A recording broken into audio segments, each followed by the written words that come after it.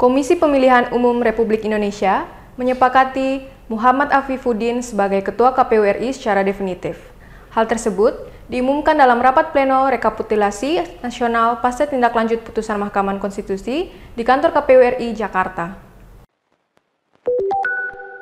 Komisi Pemilihan Umum Republik Indonesia KPU RI menyepakati Muhammad Afifuddin sebagai Ketua KPU RI secara definitif.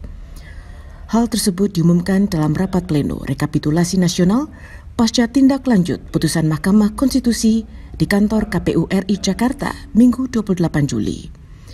Afifuddin menggantikan Hashim Asyari yang beberapa waktu lalu dipecat oleh Dewan Kehormatan Penyelenggara Pemilu DKPP karena tindak asusila.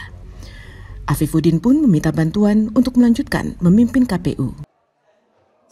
Ketua definitifnya dari PLT yang kemarin jadi kami mohon bantuan, mohon dukungan dari teman-teman sekalian untuk melanjutkan mengemban amanah menakodai KPU sampai akhir periode.